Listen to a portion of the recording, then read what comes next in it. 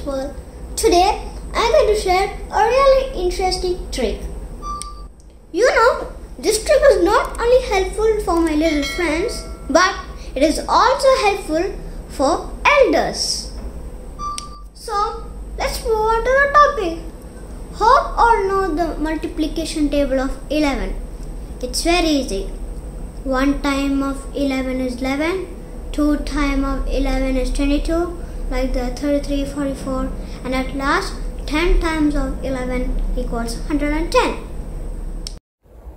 Now I will explain an easy method to multiply any number by 11. So let's start. How much is 27 times 11? First, write 2 as the first digit and 7 as the last digit of the answer. Then add 2 and 7 which will give you 9. Then write that 9 in between 2 and 7. That is your answer. The answer is 297. So let's take another example. How much is 28 times 11?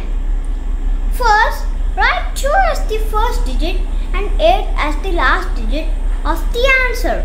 Then add 2 and 8 which will give you 10. So write 0 in between 2 and 8. Then add the carry 1 to the first digit 2 which will give you 3. So the answer is 308. Now let's take 3 digit numbers. 321 times 11. So write 3 as the first digit and 1 as the last digit of the answer. Then add 2 and 1 which will give you 3. Write that 3 near to 1. Then add 3 and 2 which will give you 5. Write that 5 near to 3. There is your answer. The answer is 3531. Like this, we can multiply any number by 11. Let's take some big numbers. 38,291 times 11. Write 3 as the first digit and 1 as the last digit of the answer. Now add 1 and 9 which will give you 10.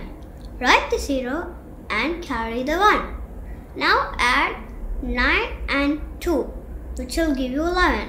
Now add the carry 1 which will give you 12. Write the 2 and carry the 1. Now add 2 and 8 which will give you 10. Now add the carry 1 which will give you 11. So write the 11 and carry the 1. Now add 8 and 3 shall give you 11. Now add the carry 1 shall give you 12. Now write 2 and carry the 1. Now add the carry 1 with 3 shall give you 4. So the answer is 4,21,201. Guys, how was the trick? It was nice, right? Hope you have subscribed my channel. If you if not, subscribe to the channel and press the bell icon for all the notifications and press the like button and support me. Bye!